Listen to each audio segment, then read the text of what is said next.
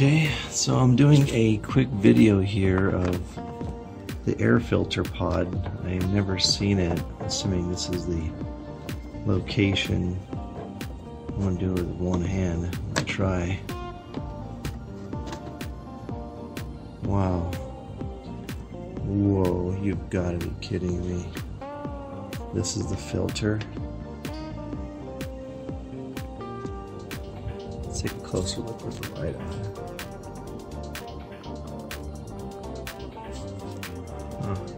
Wow.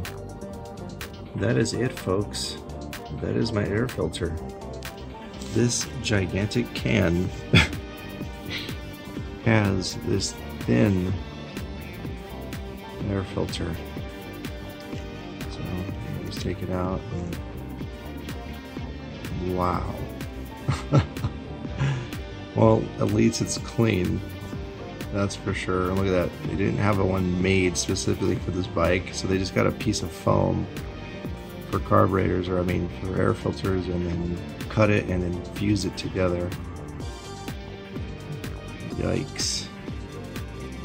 Okay, well, that was our quick tech tip of the Yamasaki 50. Here's the air filter. I have a feeling I'm gonna have to make a better one than this because this is uh, this is ridiculous.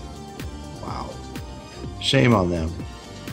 Really, that is a little disappointing to see that. I would think it would be a better design, at least something that they designed themselves that's specifically for this bike, but I guess this bike is pretty new that they didn't have time to design an air filter for it that's appropriate.